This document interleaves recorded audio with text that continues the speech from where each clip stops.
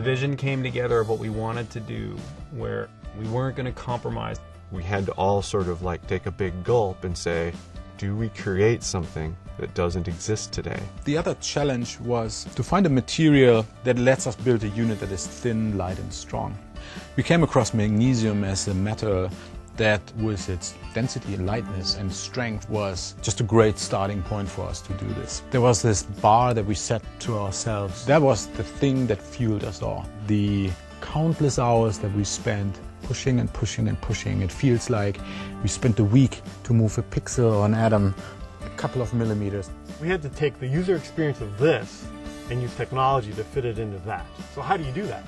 That's what we have to figure out, and that's what we used our 30 years of hardware experience for. We were working on this prototype, we wrote some software, and then we started typing on top of it.